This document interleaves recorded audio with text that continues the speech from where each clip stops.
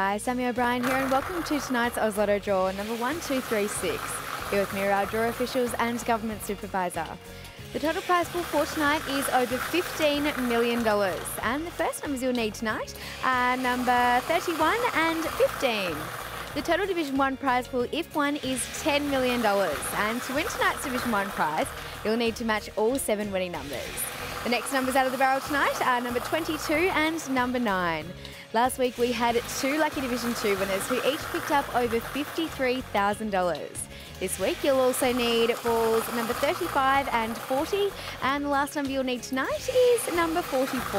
Let's recap tonight's winning numbers. Number 31, 15, 22, 9, 35, 40, 44 and our supplementaries for tonight are number 32 and 36. You can also check your entry in-store, online or via the app.